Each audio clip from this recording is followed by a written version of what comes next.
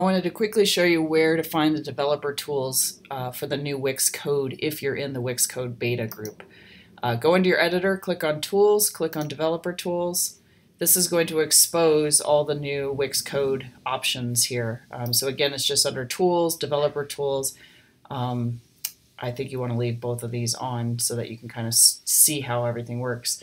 Just to quickly show you what all this uh, entails, um, there's a lot here I haven't explored, but for example, one thing that we can do is set up databases. I've already done that, so this one sh one showing up here. But if you want to add things, uh, backend um, databases and so forth, here's an example of one thing in Wix code that works. Um, so in here, I discovered you can't have spaces, uh, not that uncommon. Um, so I'm going to create a new one here.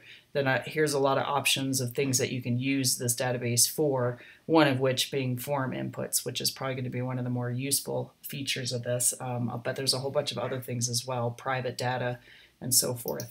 Um, I'm going to choose that. I hit create collection and now I can start adding my fields for, for this.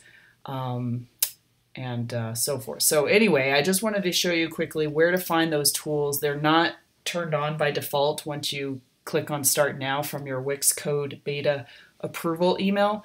Uh, you do have to check them on here under Tools in your editor. So happy Wix coding, and uh, for more tips, check out picklewix.com.